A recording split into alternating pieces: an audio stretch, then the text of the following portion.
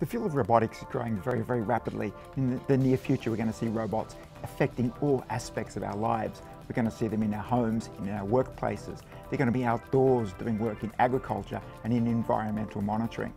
And a really important capability for robots, if they're going to be able to do these complex jobs in complex environments, is the ability to see. And that's what this course is all about. It's how we equip robots with the sense of vision.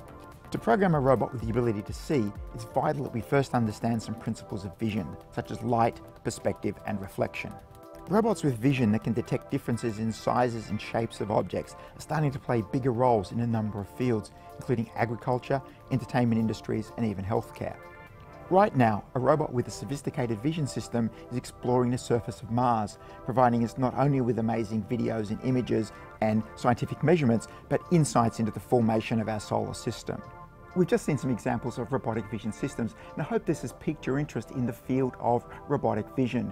It's something that I find totally fascinating, and it's what I've spent a large portion of my career doing, trying to equip the robots with the ability to see.